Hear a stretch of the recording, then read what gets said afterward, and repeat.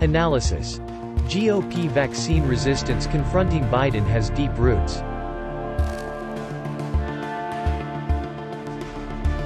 The worrisome Omicron variant lends fresh urgency to President Joe Biden's months-long grind to vaccinate Americans against the coronavirus. He needs it. For the full story, visit the link in the bio. To be notified about new breaking stories, subscribe to this channel and click that bell icon.